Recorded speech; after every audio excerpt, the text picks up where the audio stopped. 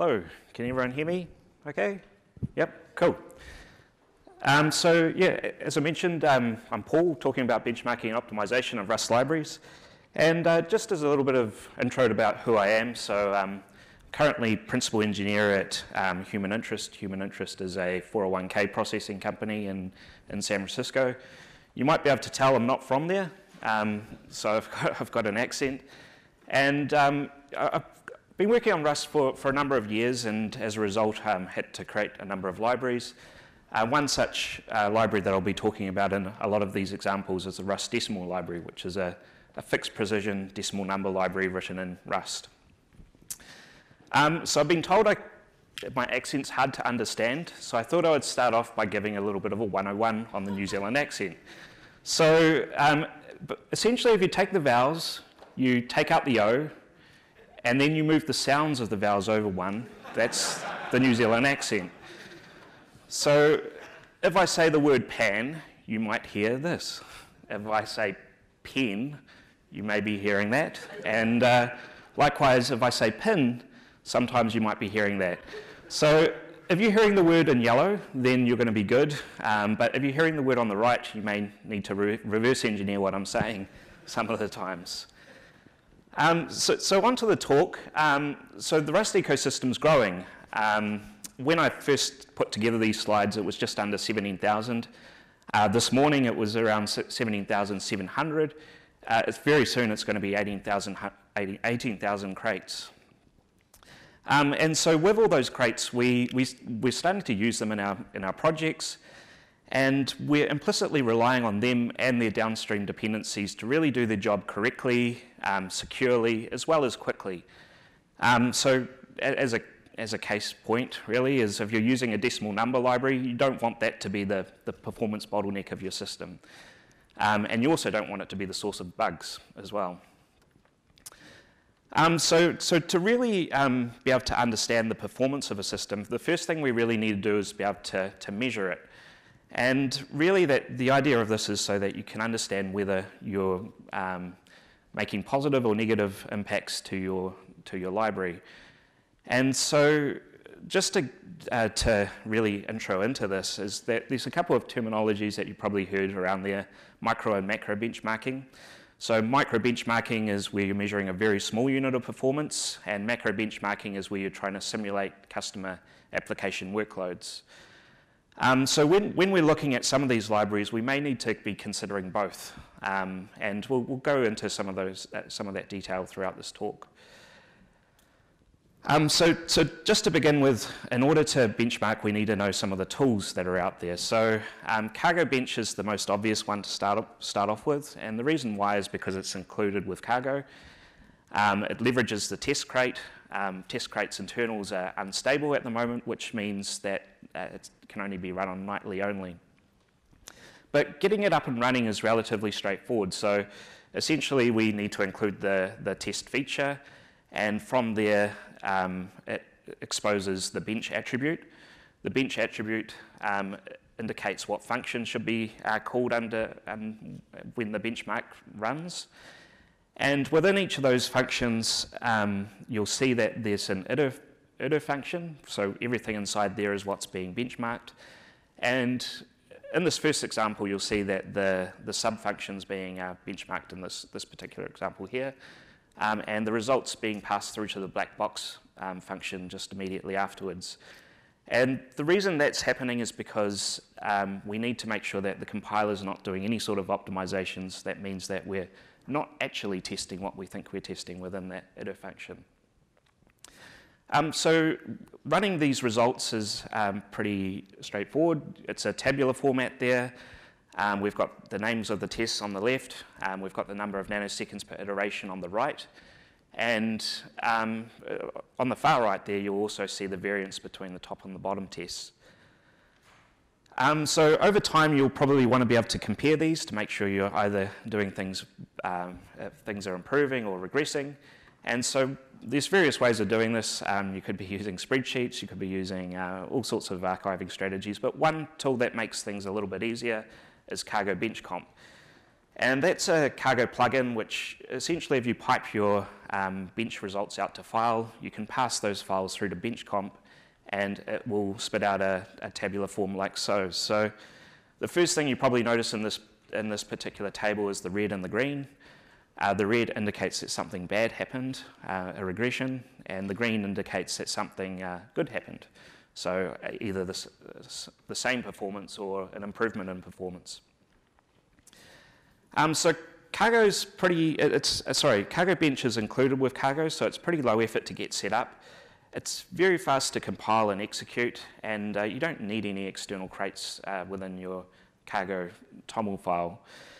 Um, and you know, with a good archiving strategy, you could also compare results over uh, from version 3 to version 1 if you wish to. Um, the, the, major downside, though, is that it's nightly only, and perform the reason for that is that um, performance may be different and stable. You may be testing against uh, experimental compiler features or whatever else, um, which means your results may be a little bit different. Um, cargo bench comp can be a little bit sensitive to thresholds. So um, in that particular, in the previous example, there was green and red. I was actually running that against the same code without making any changes. Um, so essentially, um, you can control the threshold, but you've just got to be making sure you're comparing like for like tests. So some of those tests were taking two nanoseconds. If it goes to three nanoseconds, that's a 50% uh, increase um, the, the other thing with cargo bench is looping through sets of values can be a little bit tedious. And so um, with a decimal number library, you want to be able to test a range of values. 7 divided by 3 is not the same as 6 divided by 3. Um, a very different calculation that, that actually happens under the seams. And you can do this with Cargo Bench. It's just a matter of um, leveraging uh, macros to be able to do all the, the boilerplate code for you. Uh, a second library which is out there, which um, is, is also uh, viable to use, is Criterion RS, and that's inspired by Haskell's Criterion library. Um, it's been written so that it runs on stable by default, which means it also runs on beta and nightly. Um, and getting that up and running is, is, um, is uh, pretty straightforward as well. It's a matter of including the criterion crate, uh, and then overriding the bench commands so that instead of invoking the default bench um, harness, it invokes the criterion uh, bench harness. And um, so within the code, relatively straightforward, we've got the criterion main function, which uh, essentially is what is getting invoked by the harness, uh, is the criterion harness. And instead of having the bench attribute, we have criterion group. So we had the bench attribute on each of the functions. Instead, you list them in that criterion group macro. Um, the, actual, the actual function that gets called is relatively similar, looks similar in the fact it's got an iter function, as well as um, passing the result to a black box. Um, however, the big difference there is it's wrapped around with a bench function um, function. And so what that is there for is to name all the benches. So because you're not able to leverage the attribute, the bench attribute, you've got to be able to name them via a string for it to work on stable. One, one of the actual side effects of this as well is they do have bench function over inputs, so you can actually pass multiple inputs to a, a benchmarking function also. Uh, the, the, results are verbose, um, so as you can see it's not a tabular format anymore, but within each of those um, benchmarks it does give you a lot more information. It's giving you the, um, the time, the percentage change, uh, outliers, statistical significance, um, whether it regressed or not, etc., um, etc. Um, so there's a lot more information there. And um, in addition, it spits out these uh, graphs. And um, I, I, actually haven't used these graphs much in practice. However, I can imagine this would be a great thing to show your boss, show that you're actually uh, making an improvement there. Um, so Criterion's relatively easy to set up, and what I mean by that, it's an easy migration from Cargo Bench. The code was fairly similar. Um, and, you know, it has some WAFs, um, which turn out to be kind of nice in some ways. So bench function over inputs means you can pass multiple inputs to a, a single benchmarking function. Um, and it does provide statistics out of the box, which means you don't need a, a second uh, plugin or whatever to, to manage that. The major downside is it's that it's quite a bit slower than Bench. Um, it takes quite a while to, to uh, I guess, warm up the tests and then run them. And I, I, guess it really depends on what your use case is, but if you're wanting to run things quickly or do minor, small changes, then this can be a, a, a little bit of a bottleneck for you. Um, it does suffer similar um, threshold issues between iterations. Um, there is a, a, chat going on about that in um, one of the, the, forums about introducing the ability to control threshold. Um, but the, the previous example again showed regressions and uh, nothing had changed in the code. Um, and the, the, last thing, which is more of just like a gotcha, is because you're naming your own benchmarking functions, you've just got to be careful to not name them the same thing. If you do, then you get these weird, subtle comparison errors, and uh, that can just really throw you off if you haven't realized what you've done. Um, so, so before jumping into some of the practical things of performance, um, the other thing I just want to mention is just really understanding your application before um, running it under bench. So um, you can use instrumentation to help understand this, and the reason you might want to do this is to really understand what the internals of the application are doing um, before you, uh, I, you understand what the internals are doing so that you can really uh, make sure that what you're um, testing against is what's expected um, from a normal application run. And um, there, there's various tools to be able to do this, but the whole idea here is that you um, understand what are both expensive calls but also high invocation calls. So um, in an example for the uh, decimal library for division, for bigger numbers, you might be calling um, a subtraction function maybe a thousand times internally, which isn't exposed via the public API. And so it's important that that particular function is tested under those sorts of loads. So um, we'll go into some of the practical things, and this one's going to seem a little bit of a cop-out because it's uh, going back to the fundamentals, but essentially some of the biggest wins you can get is really from relooking at your approach.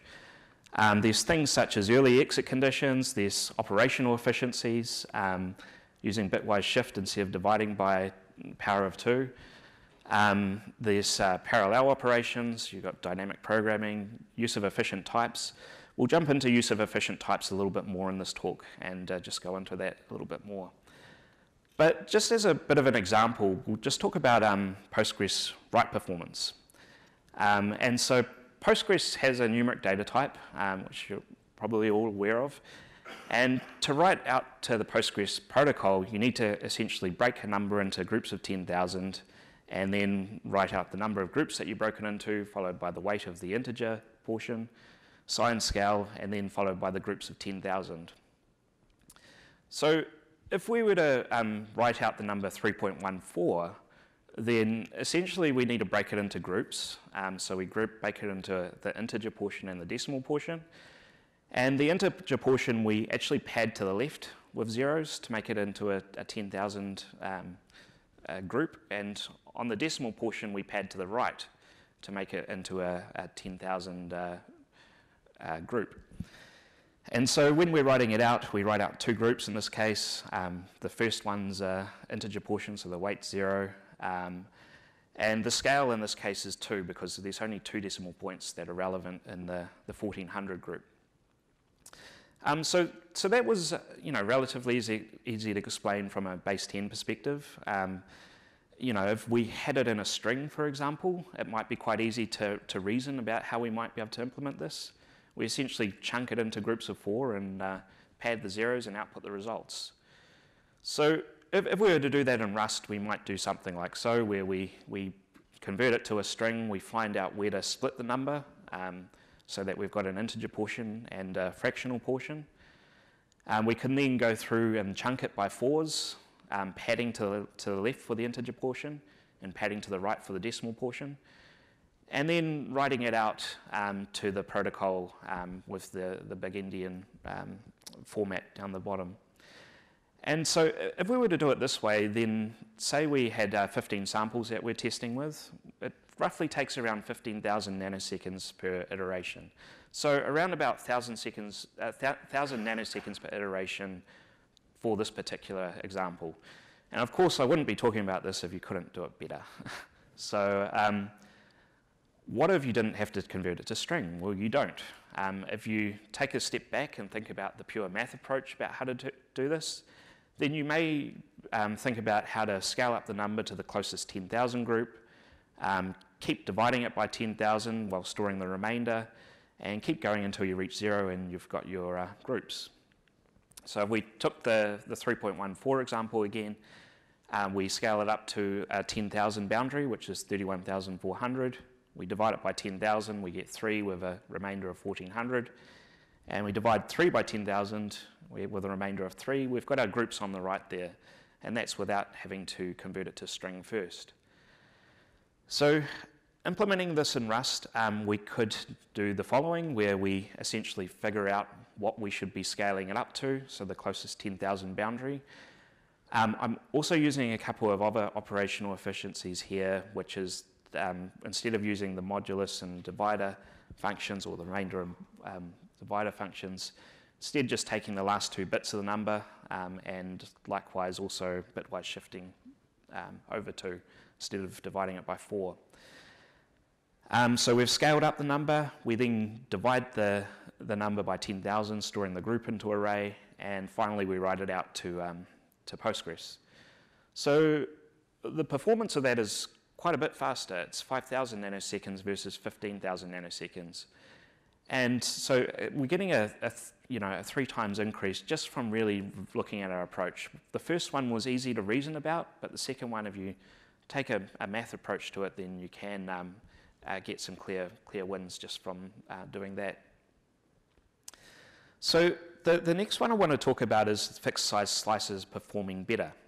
So um, if we have two identical functions like so, where one of them takes a fixed size slice of three and the second one doesn't, then the hypothesis is the first one runs faster.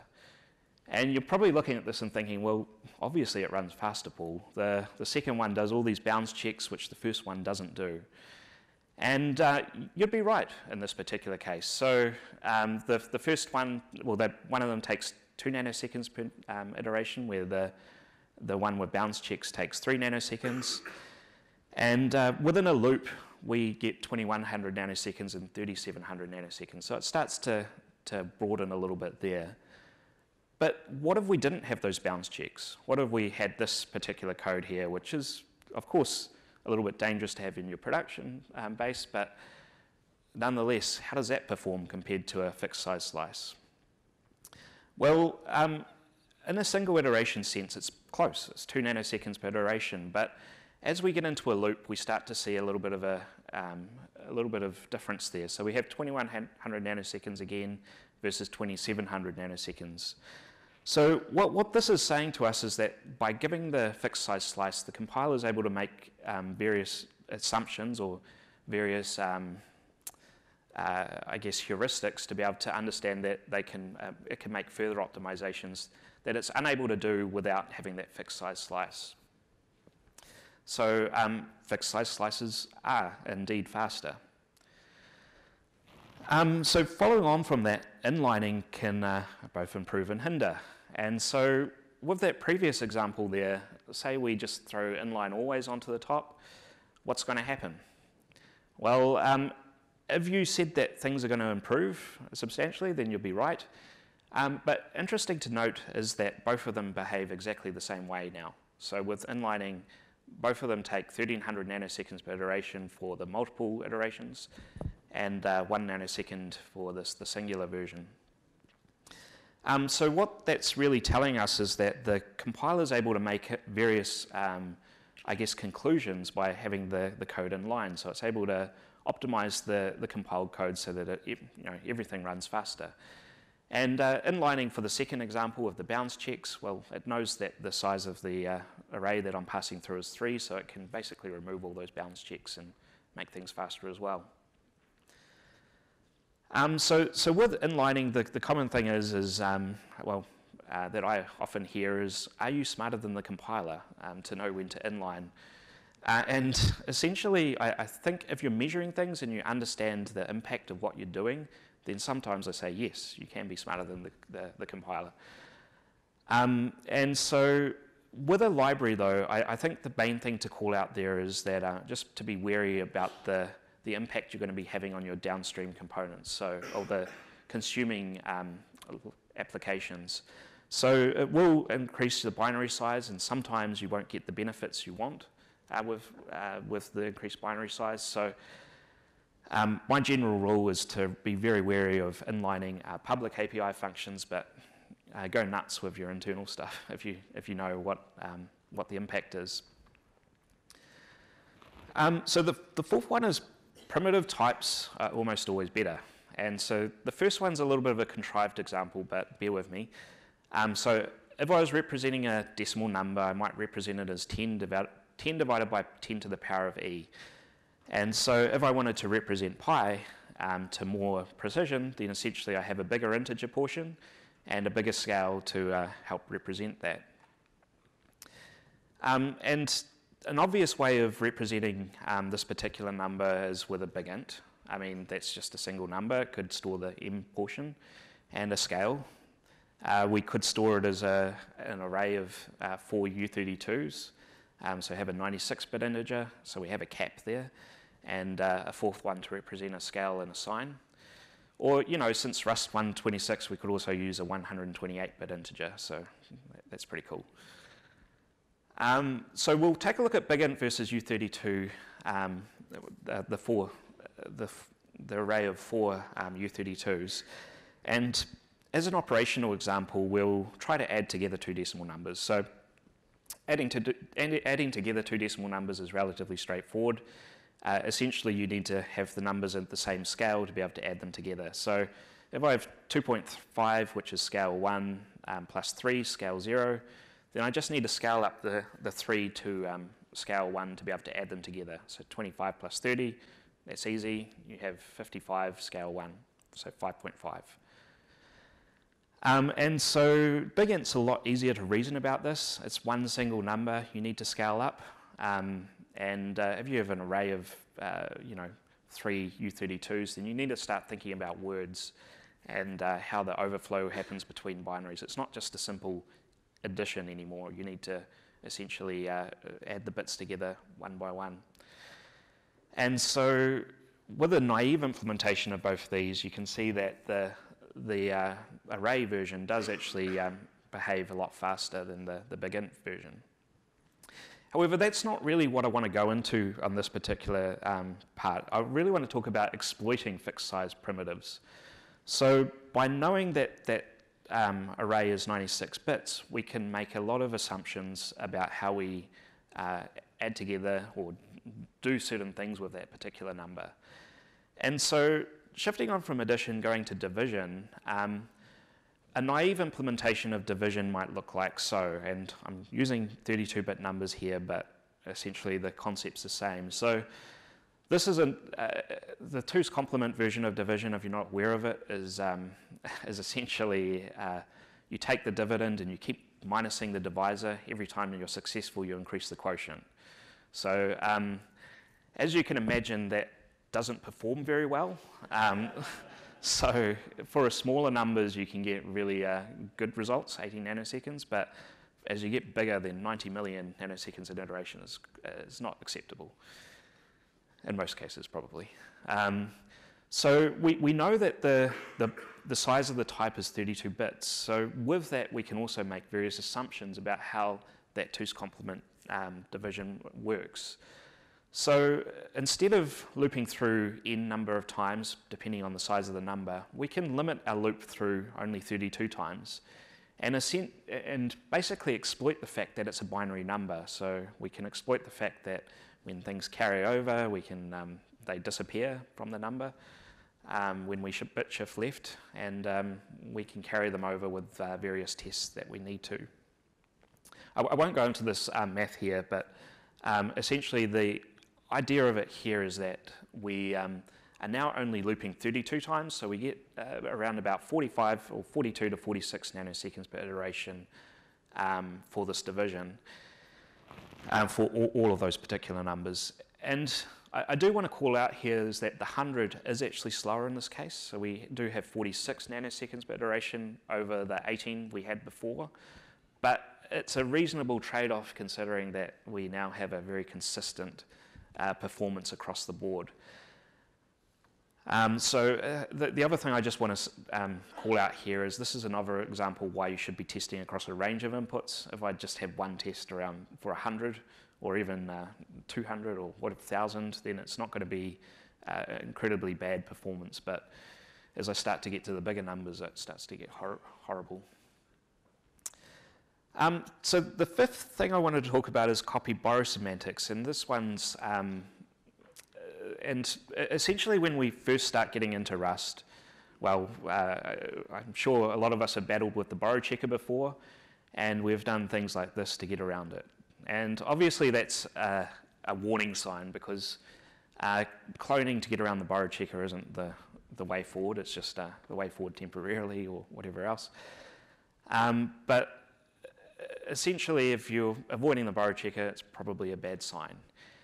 And the reason being is copying or cloning a large struct, we all know that that can be expensive, but it, essentially it can also be expensive if it doesn't fit on the stack. So we need to be considering the size of the data that we're really uh, copying in these particular cases. So as an example, we'll take a look at the um, one we had before, which is the fixed size slice. Um, so we've got the fixed size slice of three there, and then on the bottom one there, the copy, we don't have the, the borrow, we copy the array instead of uh, borrowing it. And so if we were to look at the performance of this, then we can see that for a single iteration, it looks fine, two nanoseconds each, but once we get into bigger loops, then we start to see a little bit of a variance. And to be honest, this, this particular benchmark is an interesting one because it varies substantially between runs. Um, it really depends on how the, the process is working at the time, but essentially this one has roughly around 2400 nanoseconds versus 2900 nanoseconds. So copying in this size, just 96 bits, is uh, absolutely slower than just uh, borrowing those 96 bits in this particular case. Again, if it can fit on the stack, it's fast, but if it doesn't, then it, it um, potentially could be a bit slower. Um, so what about unsafe? I mean, unsafe is a great way to improve performance, right? So, um, as library authors, I, I, think that, well, the, the, the, definition of unsafe really for within Rust, uh, from my understanding, is you're basically telling the compiler, hey, I know better than you. Uh, I know what I'm doing, trust me. Um, and while that's fine when I'm writing the code, you know, I trust myself. um, but, uh, you know, uh, of course, I cause a lot of bugs as well.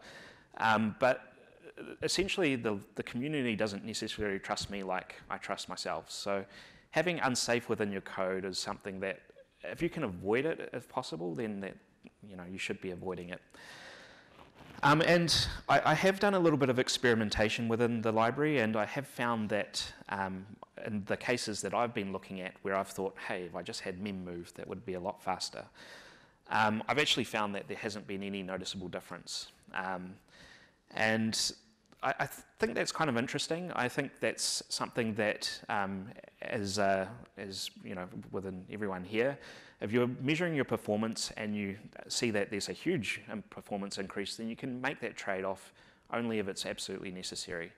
And so I, I, think there originally I was jumping to the conclusion that unsafe was always going to be better um, and in terms of performance, it wasn't necessarily the case. And so I'd probably, um, uh, it would be interesting to challenge, um, challenge yourself by just uh, measuring your results. So uh, just as uh, um, some closing thoughts is that, um, you know, as library authors, we have an implicit responsibility to consider um, performance.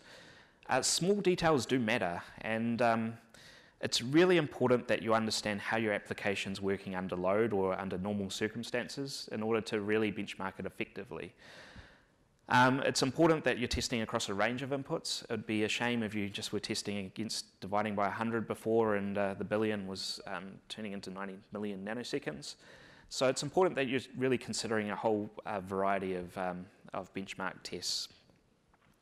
And um, the, the main purpose of measuring is really so that you have insights so you can make effective decisions going forward. So, I, you know, all of this has really been a, result of experimentation. So really understanding what's there, knowing that you want to make the improvement, and then absolutely uh, testing something and uh, I guess, testing a hypothesis and seeing if it actually worked. Um, so all in all, this community is awesome. Um, you guys are great for coming out to, to the RustConf, and we can keep making it awesome by really working together.